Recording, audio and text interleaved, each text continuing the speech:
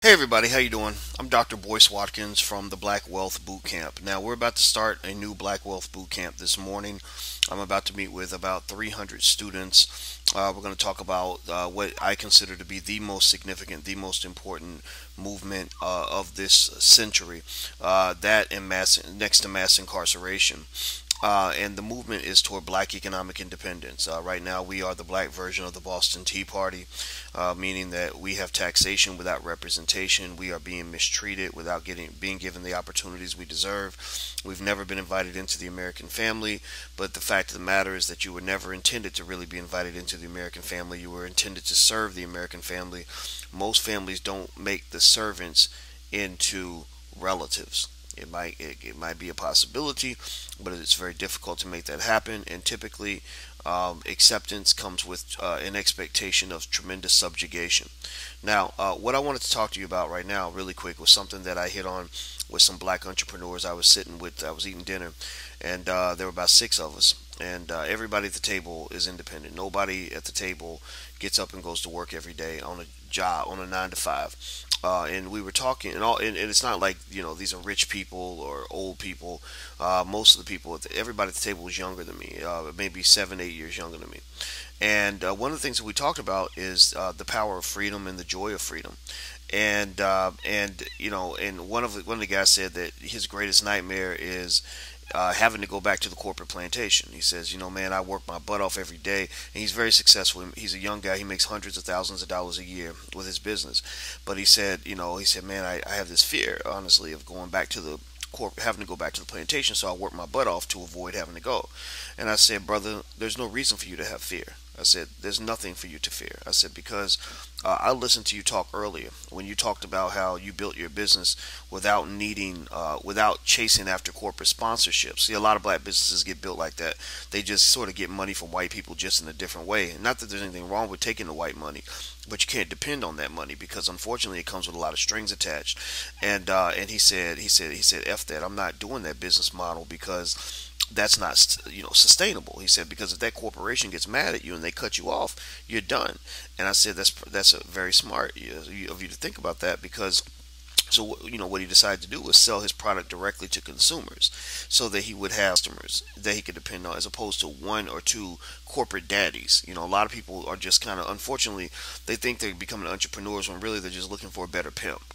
And it doesn't mean that you can't take the sponsorship money. It just means you have to be smart about it. So anyway, I told him, I said, I said, brother, I said the reason I know you're going to be fine and you have nothing to fear is because the way you answered that question earlier when you brought up that issue is you you answered it like a man like a man. I said, you know, some brothers out here ain't got don't have mental toughness. They choose they don't choose to have mental toughness. I said, but you show you you showed me mental toughness with the way you answered that question. You showed me that you were two things. You're a man, and you've learned that you're a hunter. You've learned how to hunt. Uh, and a hunter is someone that, uh, or, or an animal. We're all animals, right? That, that goes out in the woods and knows how to find the food. I said, uh, so when when you're out, if you've been let out of the cage and you're in the wild and you're hunting for food, if you're a good hunter and you're hungry, or you don't have any food anymore, you're gonna go hunt and find more food. Uh, you're not. I said, but if you don't know how to hunt, you think about going back home, back to the cage where you were being fed every day. I said, but you're a hunter, and hunters don't want to be back in the cage. Hunters will just hunt a, hunt a little harder uh, and change the game up a little bit and go find the food where it's at. Um, a domesticated house cat is not going to do that. Uh, he, you know, the cat or the dog is going to like go back home because that's the only place they know that they can eat. So the analogy is that corporate America is is the cage, you know, and entrepreneurship is the wild.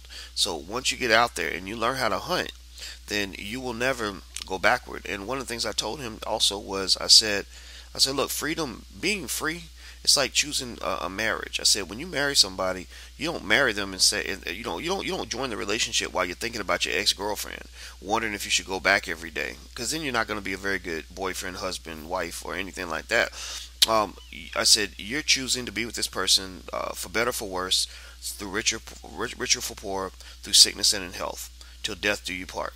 I said so freedom is something that fits that analogy perfectly because when you choose to be free, you are marrying freedom. That means, um, you know, for better, for worse, for richer, for poorer, through sickness and health, till death do you part. So I encourage anybody listening to number one know that you can choose freedom.